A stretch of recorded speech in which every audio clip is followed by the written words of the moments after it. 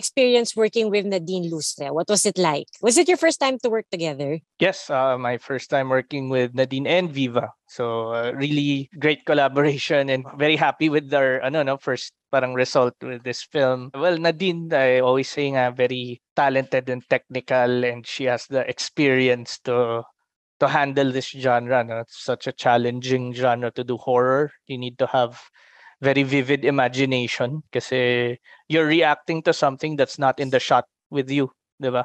And she's reacting to a computer screen. So you don't have parang yung energy or yung chemistry to bounce off another actor unlike a drama or romance, no.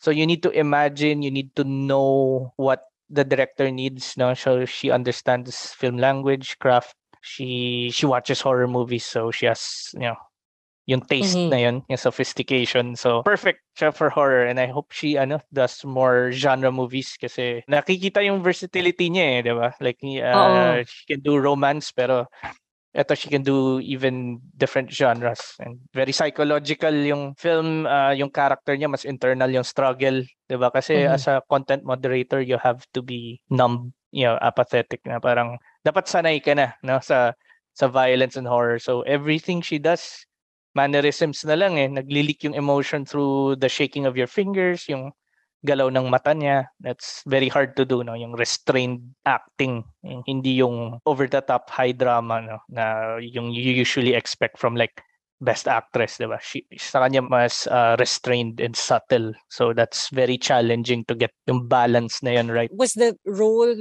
made for her or meron kayong ibang naisip and then it just all fell into place?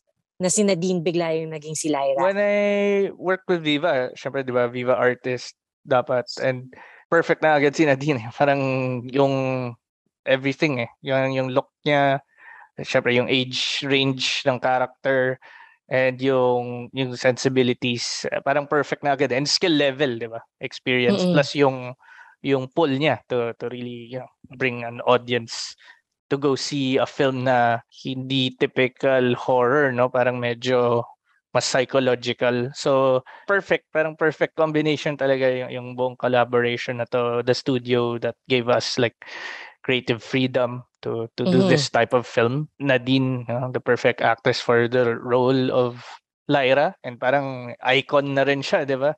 Even Oo. for the youth. So parang everything came together perfectly lang and then MMFF as the platform to show it. So yeah, we're really happy na parang perfect storm siya of timing and um, opportunity. So very grateful na. It's such a privilege to be making films at a time like this rin na parang slowly bumabalik pa lang yung industry.